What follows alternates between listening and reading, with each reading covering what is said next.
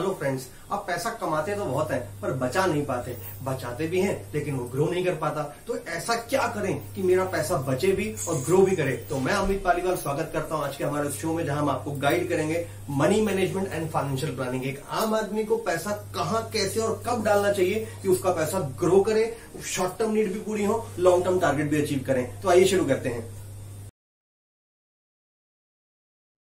Money management पैसा कहाँ डालें, कब डालें, कैसे डालें? इंश्योरेंस खरीदें म्यूचुअल फंड खरीदें या बैंक में ही रखें। शॉर्ट टर्म नीड वाले प्रोडक्ट खरीदें या लॉन्ग टर्म वेल्थ क्रिएशन वाले प्रोडक्ट लें। कंजर्वेटिव पोर्टफोलियो बनाएँ या एग्रेसिव पोर्टफोलियो बनाएँ, ये सारे सवालों के जवाब आज हमारी प्रेजेंटेशन में आपको मिलने वाले हैं। फाइनेंशियल प्लानिंग की अगर मैं बात करूँ person to person different need and different solution हर किसी की ज़रूरत अलग होती है, उसके हिसाब से सोल्यूशन अलग होते हैं, जो केवल एक प्रोफेशनल ही एडवाइस कर सकता है।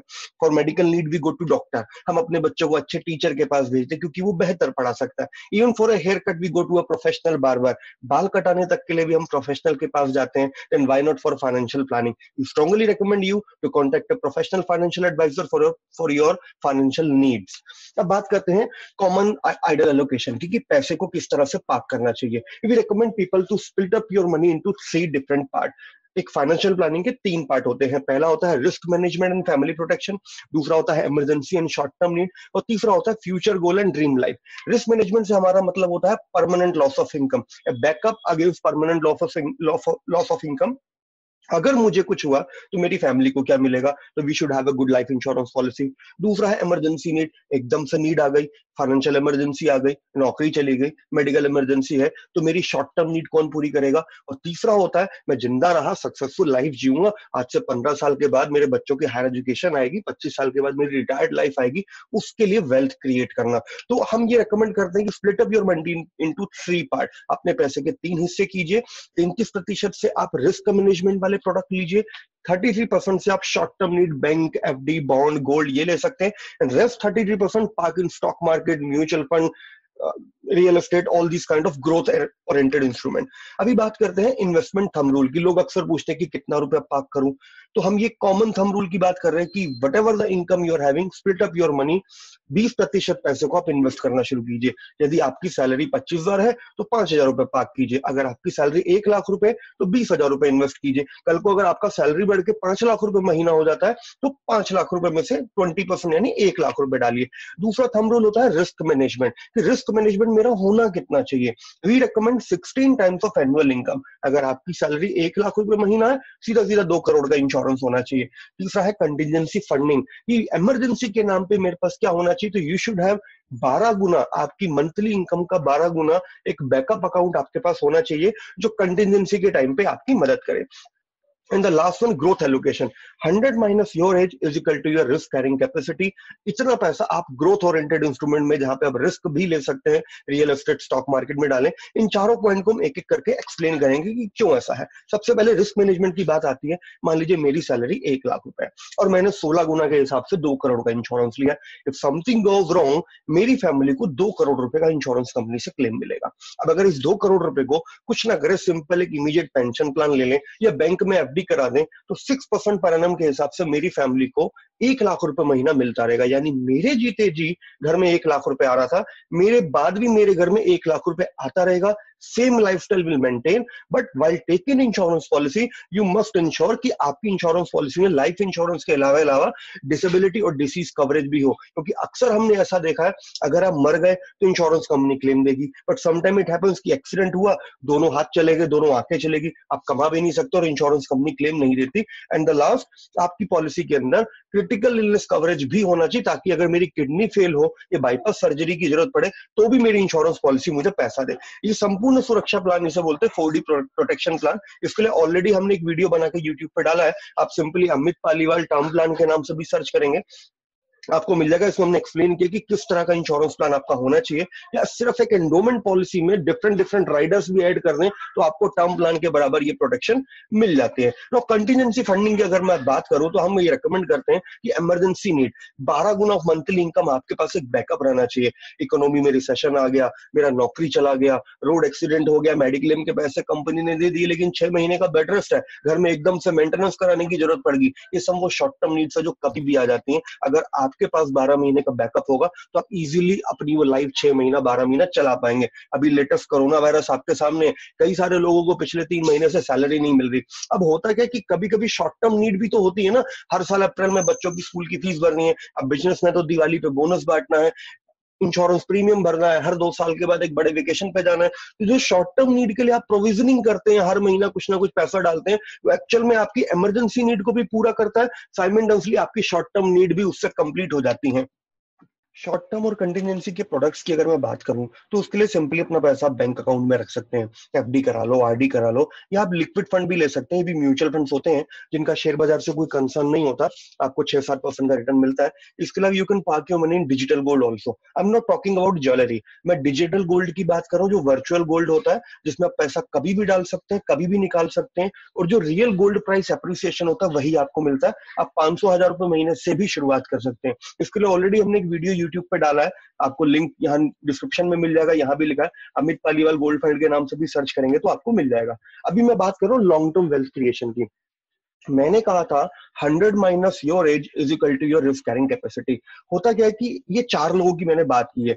ए बी सी डी पच्चीस साल, तीस साल, पैंतीस साल, चालीस साल, इनकी अलग अलग उम्र है। अब होता क्या है कि देख करके लग रहा है कि जितनी जल्दी आप शुरू करते हैं, उतना आसान होता है आपके लिए वेल्थ क्रिएशन के टारगेट पे पहुँचना। चारों का टारगेट एक है, बस एक ने जल्दी शुरू किया, एक ने लेट शुरू किया, दोनों के लिए सीढ़ी चढ़ना आसान और मुश्किल हो जाता है। और दूसरी बात, अगर बाय द वे हम फेल हुए, अगर बाय द वे हम गिरे, मेरा लॉस हुआ तो मेरे पास एक सफिशियंट टाइम होता है। हमने अक्सर देखा है इनिशियल स्टेज पच्चीस साल, तीस साल जब रिस्क करेंगे कैपेसिटी होती है, वहाँ पर लोग रिस्क नहीं लेते क्योंकि उनको रिस्क ये सब प्रोडक्ट के बारे में मालूम ही नहीं होता। Wealth creation share market mutual fund अब उमन चालीस पैंतालीस के बाद जाके शेयर मार्केट और म्यूचुअल फंड की समझ आती है और तब तक आपका रिस्क कैरिंग कैपेसिटी खत्म हो जाता है।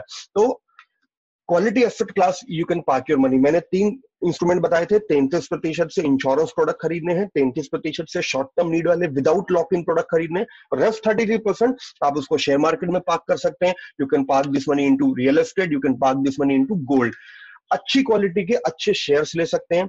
एक रियल एस्टेट ले सकते हैं और गोल्ड भी पार्शली आप इसको एसेट क्लास समझ सकते हैं, जहाँ पे लॉन्ग टर्म में वेल्थ क्रिएशन होगा। मेरा child education retirement solution dream life इन सबको मैं यहाँ से प्लान कर सकता हूँ। लोग अक्सर बोलते हैं कि, सर शेयर बाज़ार में तो लॉस हो जाता है। हमने तो शेयर बाज़ार में प्रॉफिट बनते देखा नहीं। जब जब शेयर बाज़ार में पैसा डाला, हमारा लॉस हुआ। ये आपके सामने शेयर मार्केट के पिछले चालीस साल के ट्रैक रिकॉर्ड को मैं रख रहा हूँ। Bombay stock exchange BSC thirty जिसे आप सेंसेक्स के नाम से जानते हैं।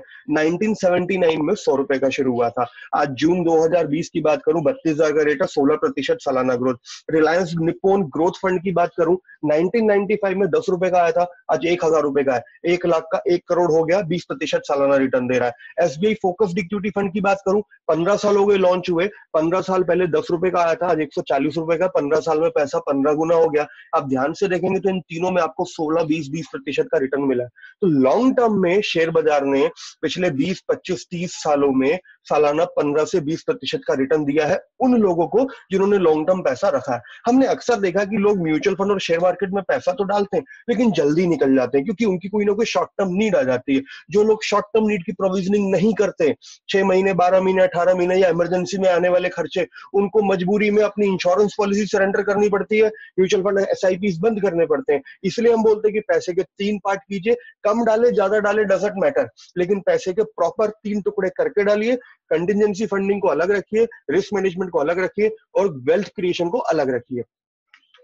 अगेन मैं, पिछले अगर 15 साल और 25 साल की बात करूँ तो शेयर मार्केट में ये लेवल के रिटर्न्स बने हैं सर लोगों का पैसा पंद्रह साल में पंद्रह गुना हुआ है और सौ साल, पच्चीस साल में सौ गुना हुआ है with twenty percent growth rate अगर केवल बीस प्रतिशत सालाना ग्रोथ आती है तो आपका एक मुश्त रकम one time money if you park one lakh rupees next fifteen year it में grow fifteen lakh rupees next twenty five year it में ग्रो वन करोड़ रुपीज़ और ये पिछले पंद्रह से पच्चीस साल में हुआ है। और अगर मैं केवल पाँच हज़ार रुपए महीने का फ्यूचर कैलकुलेशन लेता हूँ, जब five thousand rupees on monthly basis अगर आप हर महीने डालें और पंद्रह प्रतिशत का सालाना रिटर्न आए तो आपका पैसा करीब करीब छियासठ लाख, सत्तर लाख की रेंज में जमा हो जाएगा। तो अगेन जो भी आप बचत करते हैं, उसका थर्टी थ्री परसेंट यहाँ डालना शुरू कीजिए। और वेल्थ क्रिएशन एंड ईएमआई हम कार ईएमआई में खरीदते हैं, हम घर ईएमआई में खरीदते हैं, बहुत सारे स्मॉल गैजेट्स इवन मोबाइल तक ईएमआई में खरीदते हैं। तो why not wealth creation in monthly EMI yes wealth can also be created in monthly EMI हर महीने डिसिप्लिन के साथ दो हज़ार, पाँच हज़ार, दस हज़ार रुपए महीना डालिए, उसको म्यूचुअल फंड या अच्छी क्वालिटी के शेयर्स में डालिए over a period of fifteen year twenty year आपकी सच में वेल्थ क्रिएट होगी। जब आपको एक्चुअल में वेल्थ की ज़रूरत होती है, जब आपके बच्चों का हायर एजुकेशन आएगा, जब आपका रिटायरमेंट का टाइम आएगा तो आपके पास एक वेल्थ होगी। हमने इस पर ऑलरेडी एक वीडियो बनाया है create wealth in monthly EMI अमीर कैसे बने? अब यूट्यूब पर सर्च करेंगे Amit Paliwal mutual fund link मैंने यहाँ सामने दिया डिस्क्रिप्शन में भी मिल जाएगा। तो आपको इजिली समझ में आ जाएगा कैसे म्यूचुअल फंड से लेवल का वेल्थ बना है। अगेन मैं कॉमन आइडल एलोकेशन पे फिर से आ गया। We recommend people split up your money into three part जो भी आप बचाते हैं, तीन हिस्से कीजिए थर्टी से इंश्योरेंस खरीदिए, तैंतीस प्रतिशत से शॉर्ट टर्म नीड और इमरजेंसी की प्रोविजनिंग कीजिए, बिना लॉक इन वाले प्रोडक्ट खरीदिए, बिना रिस्क बिना लॉक इन और तैंतीस प्रतिशत से आप share market mutual fund real estate में डालिए और अपने फाइनेंशियल एडवाइजर से कंसल्ट कीजिए। मैंने सिर्फ़ आपको एक बेसिक आइडिया दिया है। पर्सन टू पर्सन कैलकुलेशन अलग हो सकती, हो सकता कोई व्यक्ति यहाँ चालीस प्रतिशत डाले, कोई व्यक्ति यहाँ पे पच्चीस प्रतिशत डाले, आपका एडवाइजर आपको बताएगा। हमने सिर्फ़ एक बेसिक कैलकुलेशन रखी है। ये वीडियो हमने सिर्फ़ ट्रेनिंग और एजुकेशन पर्पज से बनाया हम किसी भी कंपनी के प्रोडक्ट का या कोई एंडोर्समेंट नहीं कर रहे। Mutual fund investment are subject to market risk insurance is subject matter of solicitation आपको अच्छा लगे यूट्यूब पे वीडियो अमित पालीवाल नाम से चैनल सर्च कीजिए शेयर कीजिए लाइक कीजिए सब्सक्राइब कीजिए। आपको इन्वेस्टमेंट से जुड़ी कोई जानकारी चाहिए तो अपने फाइनेंशियल एडवाइजर को कांटेक्ट कीजिए, या वो व्यक्ति जिसने आपको वीडियो फॉरवर्ड किया है, उनसे बात कीजिए। हाँ अगर आप एडवाइजर और कोई कॉर्पोरेट ट्रेनिंग कराना चाहते हैं, हम इस तरह के सब्जेक्ट पे कॉर्पोरेट ट्रेनिंग देते हैं financial planning portfolio management risk management insurance investment mutual fund तो आप हमें कॉन्टेक्ट कर सकते हैं। आज के वीडियो में इतना ही। Thank you very much sir Amit